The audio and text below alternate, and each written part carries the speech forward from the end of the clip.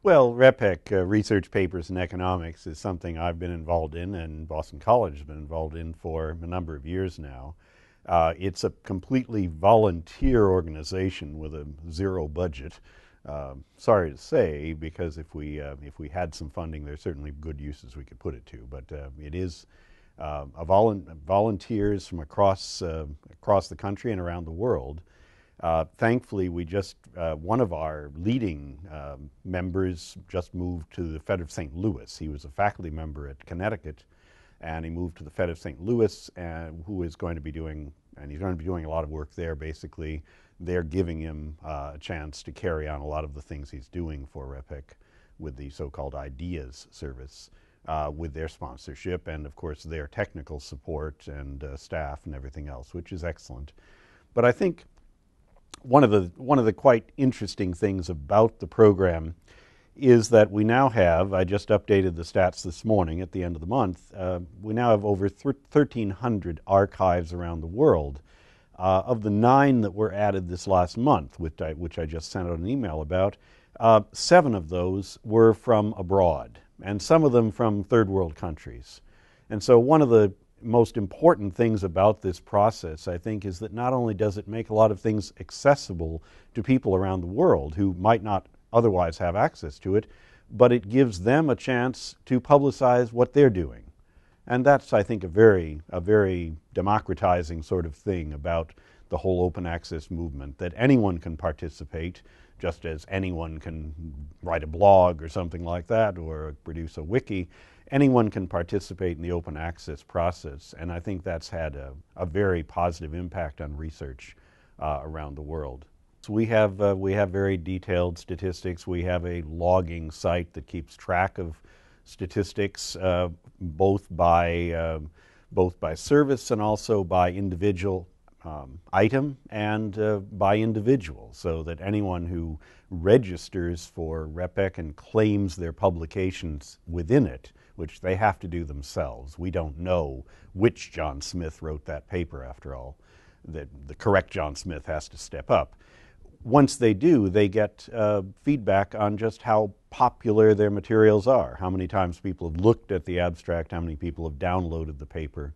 Um, and that, I think, is something that a lot of people are very, uh, very encouraged about. Um, combining that with the kind of information that's now available in other sites such as Google Scholar, which gives us access to um, how many citations have been uh, made to our work. I think that's incredibly useful. And I think in that latter respect, one of the very positive things is that unlike something like uh, the sort of official citation statistics in something like Social Science Cite Index in my field, which only include certain journals um, and do not generally include citations from working papers and preprints. Uh, something like Google Scholar pulls that information together, as does REPEC Citation Service, uh, from everywhere where the work has been cited. And, you know, of course, it's important to have publications in peer reviewed journals, but uh, one has to recognize that if you're looking for the state of the art in what's being done in a research area, you have to look out there at the working papers because that's where the material is first unveiled it may take years to get it into a published journal. Um, and so the publication lag, lag, there, if a graduate student comes to me, a PhD student, and says, uh, I'm interested in this topic, I say, well, look in REPEC, look in Google Scholar, look for anything about that topic you can find. Don't constrain yourself to looking at what's in the published literature, because that's what was done five years ago. What you want is what was done last year what was done in response to the financial crisis, what research has been done in that period, looking at what's happened in the last couple of years, that's up to date material. You'll find it in central bank materials, you'll find it in research institutes um, or in university publications, working papers, but only with some lag will you find that coming out uh, in the published form. So I think it's been very valuable to have these various services such as uh, REPEC and Google Scholar uh, and SSRN that all pull together uh, citations and references to materials that are out there, whether or not they've been officially published, um, and make them available to everyone. I think that's I think that is happening. Uh, I I read uh, an academic paper recently that talked about the sort of democratization of co-authorship that's taken place in recent years. That people at top-ranked institutions are now much more likely to work with people at lesser-known institutions or foreign institutions than they were um, they, than they were five or ten years ago. And this is in my discipline of economics, but I imagine it's been happening elsewhere just because of the ease of communicating and working with people over the internet using Skype and chat and that sort of thing. Uh, but I think it's certainly the case that the emphasis on peer review, or even the whole notion of peer review, is changing and is evolving. And I think it really needs to in many ways. Uh, there are some serious problems with the current process. Um, and I think one of the things that uh, is very negative is that many times you'll get reports on a paper which essentially say uh, that the reviewer would like you to write this paper uh, rather than critiquing what you wrote and making, making it acceptable for publication no, we, we want you to change, you know, your, your whole focus of what you're doing here, that if I were going to write this paper, this is what I would write. Well, that really is sort of a perversion of the process, and uh, it, it doesn't work well.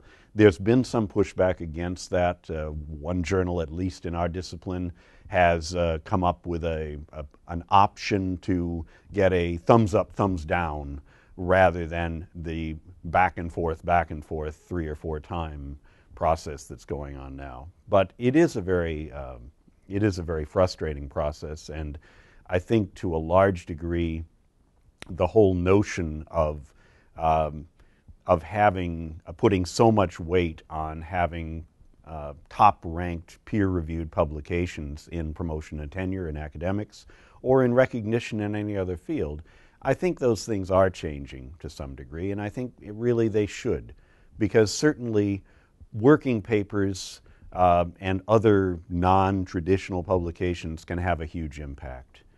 Uh, in my field of applied econometrics, for instance, there are at least two cases I can think of where something circulated for many years in working paper form, a new methodology that was used widely in the discipline, published in the finest journals by other people, but the original paper took years to come out. In one case, uh, 11 years, as cited on the journal front page, between the time submitted and the time eventually, uh, eventually published. Well, you have to ask whether the authors are going to outlive their publication or not in those cases. So I think that the flaws in that process really suggest that changes are needed. We can't, in some sense, wait for um, years of scrutiny for things to come out that may have an important impact on the kinds of research we can do and the kinds of questions we can answer. And I think that's all the more evident uh, in these days with financial crises in, in Europe, in uh, problems in America, with uh, budget issues and so on. We need quick feedback on this, this sort of thing. And in some sense, uh, we should perhaps be relying on the reputation of the author and co-authors um, rather than perhaps uh, what journal did it appear in, because that's, uh, I think, becoming a, a, somewhat less relevant criterion in many ways. Well, I've heard that argument, and you've certainly made it on numerous occasions. Uh, I myself uh, sign the forms and send them in, and I suspect most of my colleagues do so. At the same time, certainly um, a number of my colleagues just sort of ignore the issue and uh, post materials uh, that may indeed be violation of their copyright agreement, and uh, to some degree, you know, the publishers don't necessarily come after you for that. I mean, I don't uh, post the final publisher produced copy of the item anywhere on the web because I know that is not supposed to be done. But I have no problem posting the last revised version that I sent to the publisher, and I think uh, you know most publishers these days are are okay with that. But I think the whole area of journals, particularly commercially produced journals, for-profit journals, are uh, are a more and more serious problem because those who are serving as editors and associate editors for the journals don't receive much for their services in terms of the time they put in and the effort that they put in to do their job. Um, journal publishers charge, uh, as, as you certainly know, outrageous amounts for many of these titles, and uh, you know the rents are not going uh, where they should. And I think it's very positive that, for instance, the American Economic Association has now started four new journals, uh, sort of second-tier journals um, that uh, that are uh, open access and that uh, that essentially are trying to draw some of the best work away from the for-profit sector. Because I think ultimately we all recognize the the for-profit journal publishing industry is uh, you know is is not a sustainable model um, in economic terms. You know, if healthcare will eat up the entire GDP of the U.S. in 50 years, journal publishers will eat up the entire library budget of everybody in, in the country uh, in shorter time than that, and uh, you know that can't happen. Uh, so what's going to happen? Um, we have to ask that question, and I think uh, some answers have got to be forthcoming because, as it stands, uh, you know, the uh, what uh, what people are paying to have access to those refereed, peer-reviewed journals um, uh, are just outrageous sums. I, th I, think that should be taken up by universities um, around the world. I think that that should happen. Um, I think we should follow the lead of Harvard and MIT in this area because I think that would do a lot to um, perhaps deal with some of the financial pressures involved. Um, I think it's really quite uh, unreasonable that uh, that faculty, in essence, uh, faculty's institutions have to buy back their own work. Uh, if this work is work for hire by an employee of the university, the idea that you have to buy it back is, is, is patently ridiculous. But um, without a mandate, it's not going to happen. So I, I would be all in favor of that. I think we should move toward that. I think um, we, I, I, would hope that uh, something like the uh, ARL institutions might consider a um, policy, um, a, a, uh, proposed uh, model policy of that sort for all the institutions that, that are research institutions. I think if everyone in that group did it, it would be a lot harder for the publishers to maintain their, their stance. Uh, I'm an associate editor of one journal, the Stata Journal, uh, which uh, is a peer reviewed journal, started about 10 years ago. And from the outset, I argued, as did several of the other AEs, that there should be a moving wall um, produced uh, by the company that would make, uh, make that journal accessible. In that, in this case, they chose three years, which is a, a common choice for a moving wall, I think. Um, and I think that's a very positive thing.